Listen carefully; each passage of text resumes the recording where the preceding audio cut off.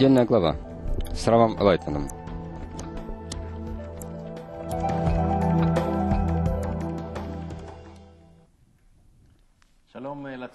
Приветствуем вас, зрители, зрители Всешного канала. Приветствуем посетители нашего интернет-сайта Кабала народу. Сегодня мы изучаем недельная глава, наша глава Экев. Здравствуйте, Рав Лайтман. Здравствуйте. Здравствуйте, Дани Хаймович. Дани Хаймович наш интернет-оператор, он будет зачитывать вопросы зрителей в течение урока, которые мы зачитаем вслух. Сегодня у нас глава Экев. Сейчас перейдем к краткому содержанию. Краткое содержание.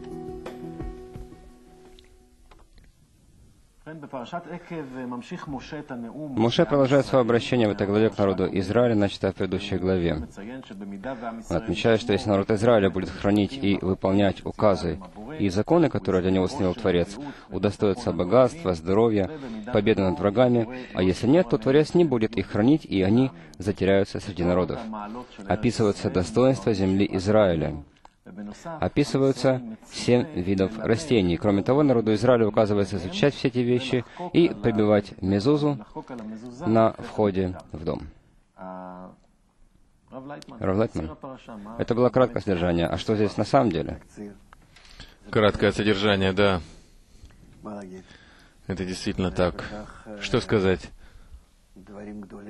Это рассказано здесь о таких больших вещах, все это предостережение, посмотрите, насколько это актуально, если вы будете соблюдать все эти законы, потому что это законы природы, и закон дал, и он непреложный закон, и Творец в числовом значении природы. Если вы будете соблюдать эти законы, что Творец дает нам? Что это за Тора? Это законы мира.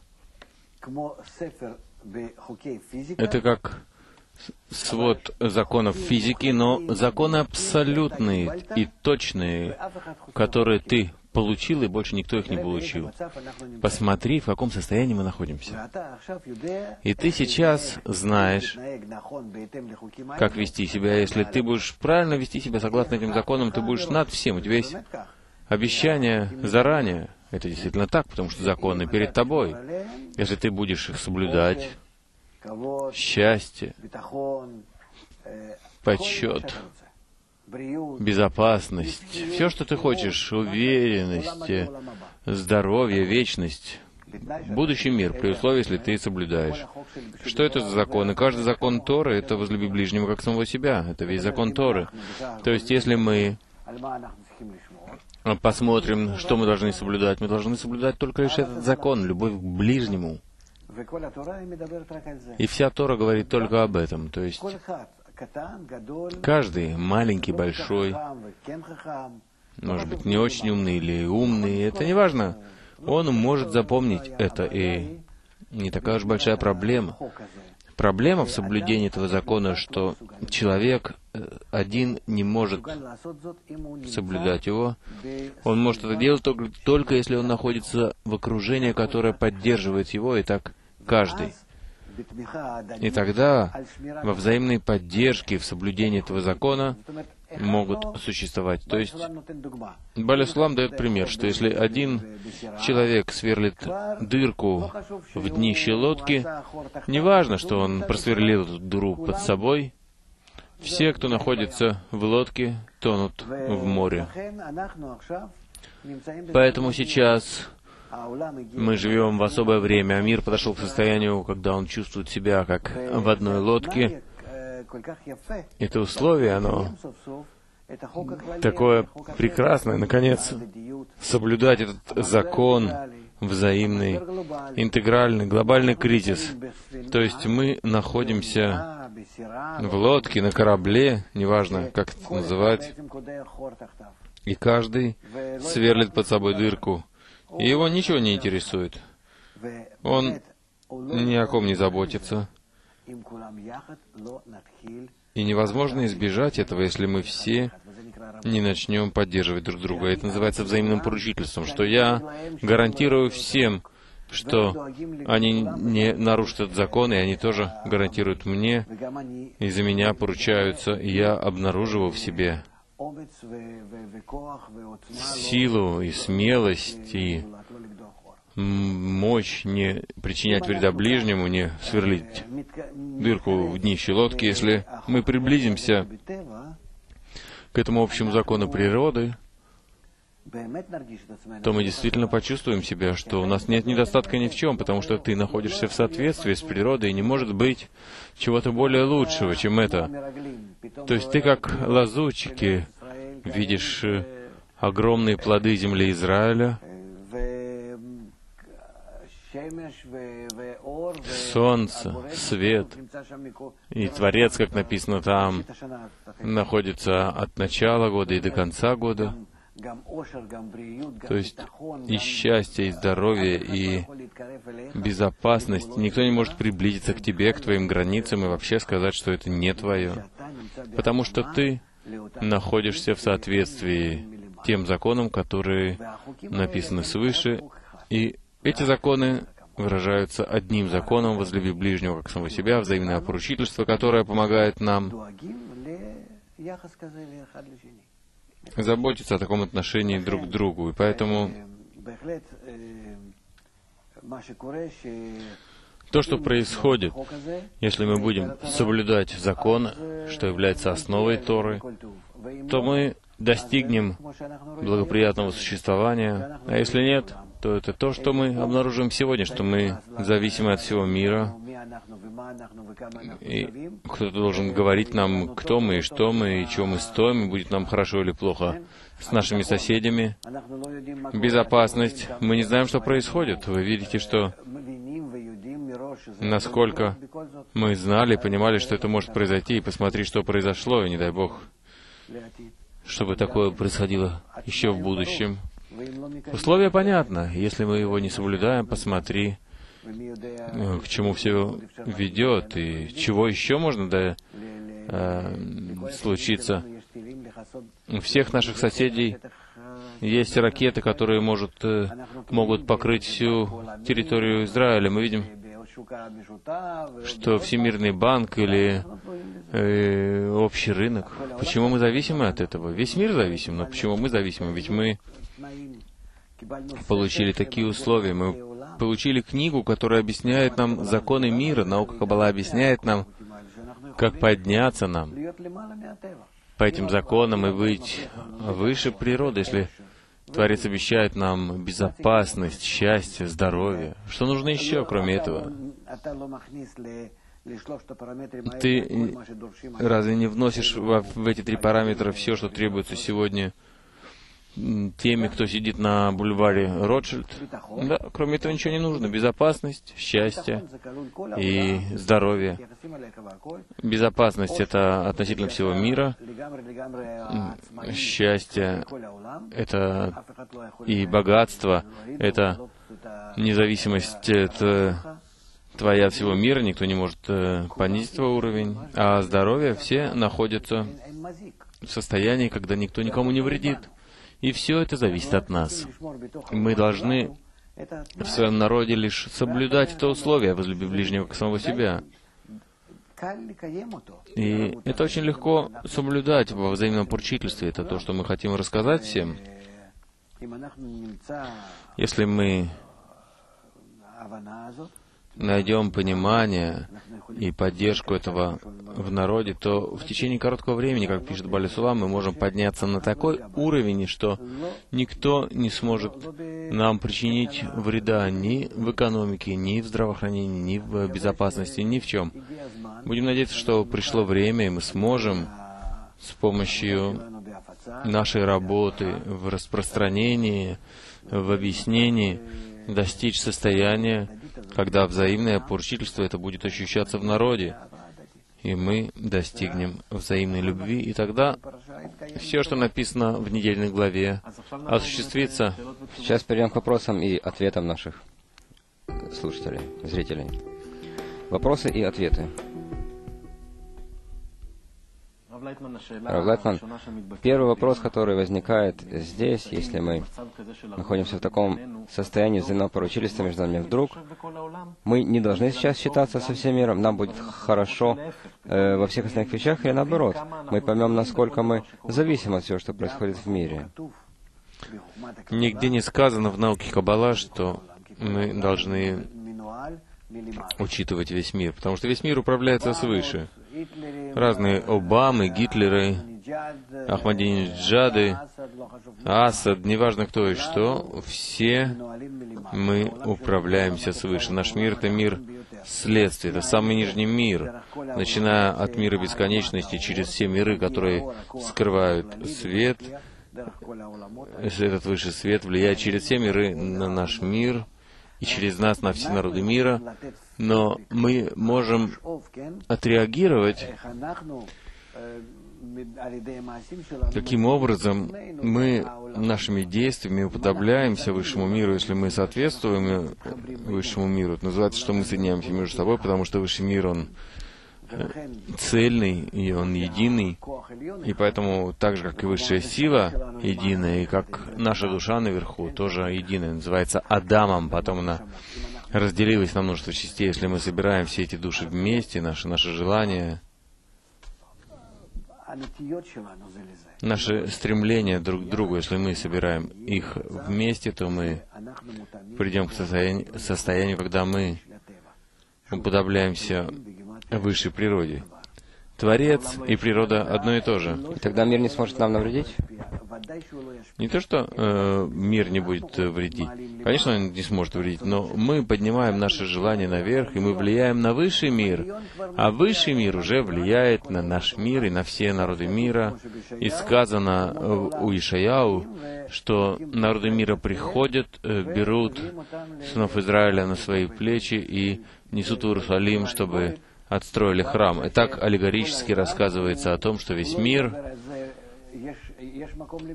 не будет говорить о том, есть место на земле народу Израиля или нет.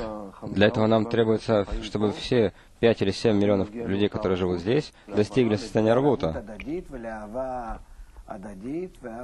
взаимного поручительства, взаимной любви, возлюби ближнего к самому себя, мы должны это соблюдать, но не думайте, что когда это будет, в тот момент, когда ты это делаешь движение вперед даже на миллиметр и не находишься в противоречии с природой, хоть твоя тенденция совпадает с тенденцией природы, это как ребенок, который делал всякие э, проказы и э, был непослушным, но он уже решает измениться, это то, что нам нужно. Исходя из своего действия, ты сразу сможешь увидеть, что ты двигаешься правильно. У нас есть благословление, то, что называется. То есть ты вдруг чувствуешь силу. Посмотри во всех этих беспорядках, этих волнениях. Посмотри. Мы там слышим и разговариваем со всеми. Что все хотят? Чтобы ты начал говорить с ними о взаимном поручительстве, о взаимном объединении. И человек от этого получает такое удовлетворение, такое ощущение, Народу не хватает любви. И кроме этого, скажи мне, можешь ли ты с помощью какого-либо бюджета, который ты... Э, сможешь ли ты покрыть все проблемы народа? Никто не захочет быть последним в распределении этого пирога. Почему это не, положено мне или ему? Или... Это же бесконечно, мы знаем по себе.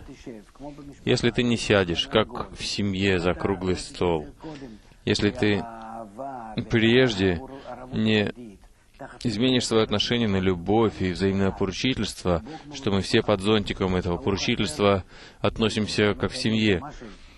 У него нет жилья, действительно, он испытывает такие трудности, этому не хватает э, денег, этот болен, этот э, старый.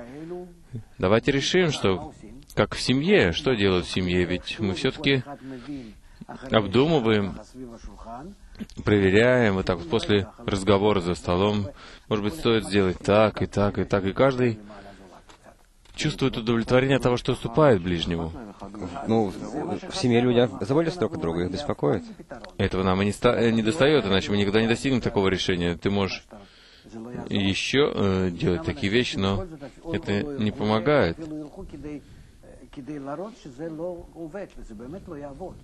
Это не сработает.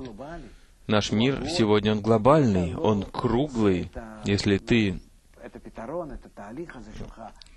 свое решение и этот процесс не а, выстраиваешь соответственно миру, то ты проигрываешь, и проигрыш этот очень большой. В следующий раз могут быть, не дай бог, погромы. Мы должны думать об этом. Это не просто так я сделал и не получилось. Это приносит очень большой вред народу. Это вызывает горечь и боль. И неизвестно, что это может вызвать. Что значит сегодня глобальный мир? Мы же здесь говорим в этой главе, что глава была написана очень много лет тому назад. И здесь, конечно, говорится о внутренних процессах, но тем не менее, если сделать так, вам будет хорошо, если объединитесь, и если нет, то согласно закону природы вы будете страдать. Что изменилось с тех пор до сегодняшнего дня? Ничего. Дан непреложный закон. Нет ничего нового в законах мира. Только мы все время изменялись на протяжении истории.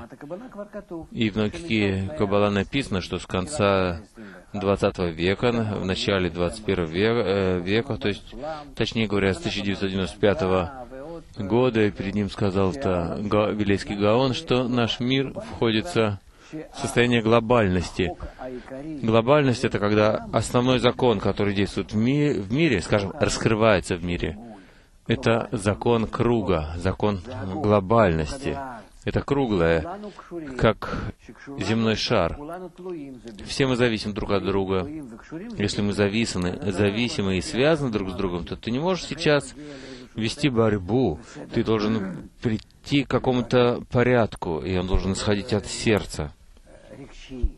Должен быть чувственным, эмоциональным, учитывающим интересы другого. Что значит взаимное поручительство? Я поручился за тебя, а ты за меня, и все за всех. И так вот по всему земному шару мы приближаемся к этому. В очень быстром темпе. Ты видишь, что происходит сегодня на завтра. Посмотри, что происходит в мире. И темп этот будет нарастать, и мы раскроем скоро что не только у нас мы чувствуем необходимость, что нет другого решения, а только во взаимности мы можем достичь его. Когда ты приходишь к решению, ты садишься со всеми, ты получаешь душевное, внутреннее удовлетворение, ты получаешь уважение а, за того, что, из-за того, что ты уступил. Ты сидишь с другими, у тебя есть ощущение тепла, ты чувствуешь больше уверенность, ты вместе со всеми. То есть здесь ты начинаешь уже получать какое-то раскрытие высшей силе, силы, которая соответствует э, в, в соответствии высшей силе. Нам необходимо, чтобы народ почувствовал это. В науке Каббала это раскрывается сразу, в таком связанном обществе. Мы должны это показать народу, но скоро весь мир откроет это, и все эти волнения, которые есть в мире, это лишь начало. То, что не хватает людям, они просто не могут это выразить. Им не хватает любви. Есть еще нечто связанное с, с этой главой. Написано, что нужно при, прибавить мезузу. И, и, конечно, говорится, что о внутренних... И о сыновьях тоже говорится. О сыновьях мы говорили в предыдущих главах. Сыновьями называются наши следующие состояния, отец и сын. Это нынешнее состояние называется отцом, в следующем состоянии называется сыном, результат его. Непонятно, что это переходит от состояния к состоянию, нужно что-то сделать. Конечно. Мы все время должны находиться в такой тенденции, что мы поднимаемся и сохраняем нижний уровень при законе единства и любви. То есть более тесная мера общения между нами, соединения. По правде говоря, вся эта глава — это результат молитвы Шма Исраэль, которая была в предыдущей главе, и поэтому так написано. И то же самое и о мизузах. Ты выходишь из своего состояния, ты возвращаешься к своему состоянию. Это называется вход и выход из дома. А дом это называется сосуд человека, сердце его. Кли — это все желания. Если ты соединяешь новые желания, исправляешь их, выходишь, входишь, и есть свет, и это исправление называется мидзузой. Об этом сказано много в науке Каббала. Это особый свет, э, э, который должен быть у человека, чтобы начать новое исправление. Наша душа, она включает в себя 613 желаний, и мы должны их исправить от тяжелого к легкому, простите, от легкого к тяжелого, влиять на ближнего и через ближнего на Творца. Состояние правочелистства, которое вы затронули, когда все зависят от всех, и никто не испытывает недостатка. Мы знаем, что человек болен, он готов отказаться от всего, лишь бы выздороветь. А здоровый даже не думает об этом. Сегодня есть люди, которым плохо, и они будут согласны объединиться, но что их дальше будет удерживать? Взаимное поручительство, поэтому тебе недостаточно сейчас. Мы должны любить друг друга. Мы решаем так. Возьми каких-то преступников, Э, у них тоже есть взаимное поручительство и любовь. Вопрос, как ты удерживаешь это во времени. Если один падает, то все падают, а один может удержать всех. Это только при взаимном поручительстве. Если достичь такого баланса, чтобы у кого-то ничего не было, и вдруг все появилось, конечно, будет счастлив, но это за счет другого будет. Что заменит человеку это? Поэтому, когда мы говорим о реализации взаимного поручительства, мы говорим о круглом столе, чтобы мы сели вместе все, даже сто человек. Сделаем большой стол. В чем проблема? Каждый приносит свои проблемы, каждый требует своего, и мы должны сначала объединиться между собой, и после того, как перед нами лежит список проблем, скажем, Вначале у тебя есть, э, в народе у тебя есть 20 основных проблем.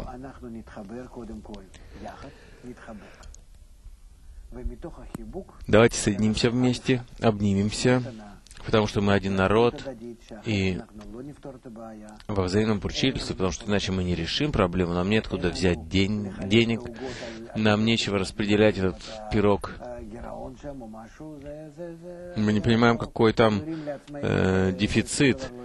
Мы просто стреляем сами в себя, и ничего нам не поможет. У нас есть только одна возможность.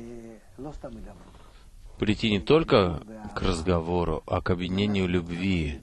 Если мы вокруг этого стола начнем организовывать весь народ, и видишь, что весь народ, он связан со всем этим шествием, с бульваром Ротшильда и так далее, если мы через средства массовой информации будем все время проводить такие реалити в интернете, на телевидении, рассказывать об этом вместе с театром, вместе с песнями, вместе с э, разными артистами, то мы из этого понятия взаимного поручительства мы сделаем из него просто воспитание народа, через месяц у тебя люди станут другими, ты почувствуешь это в своей езде над, на дороге.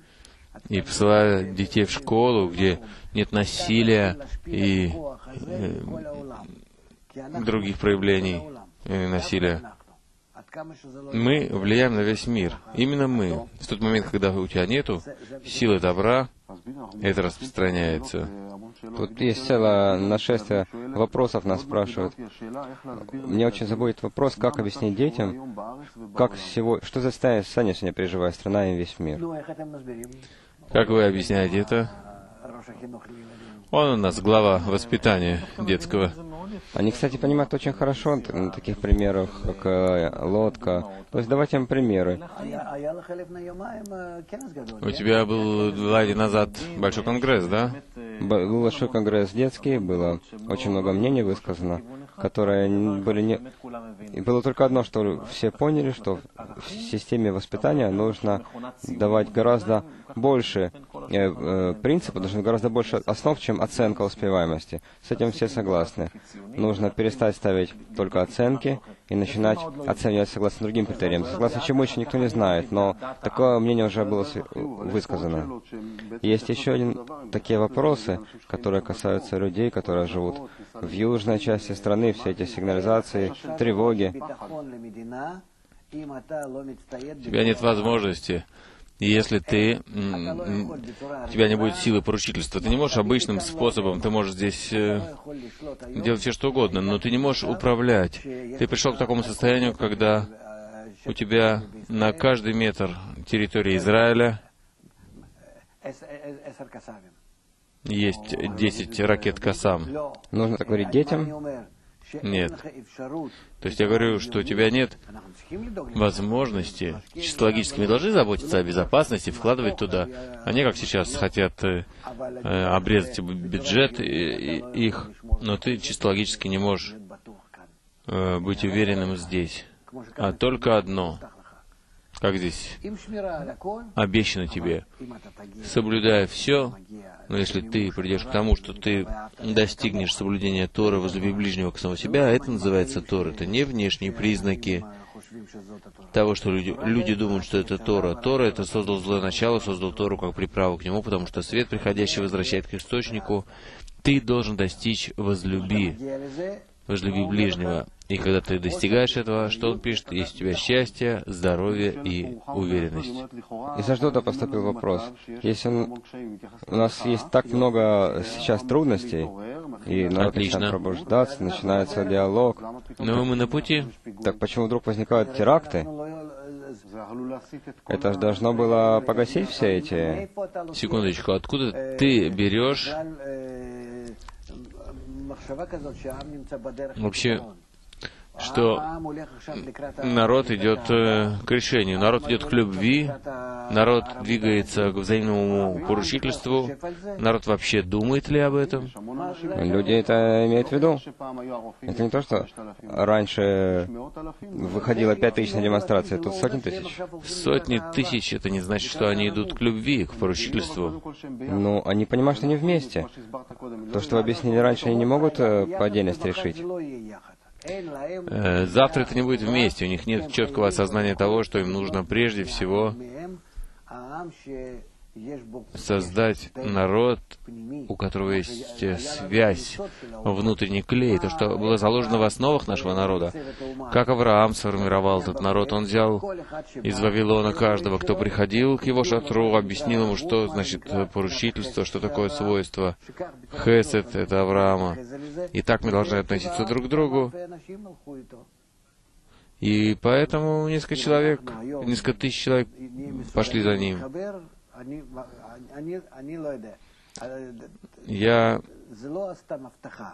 Нет, это не то, что обещание. У тебя нет выбора. Единственное решение, которое есть, и будем надеяться, что мы услышим его прежде, чем приходят к нам такие Мы придем к этому решению, сейчас мы должны... Э, приближается время наше к завершению, мы придем к определению понятий.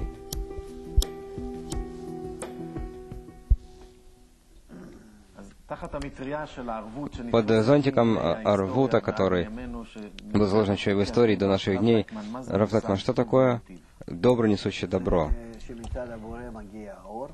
Это когда со стороны Творца приходит свет, он добрый, творящий добро, а из-за несоответствия нашего, нашего света мы чувствуем его как плохой. Так же, как и непослушный ребенок, чувствуя, ощущает свою мать как плохую. Э, внутри она мягкая и добрая, но снаружи она должна вести себя так, чтобы как-то э, дать ему прямой путь.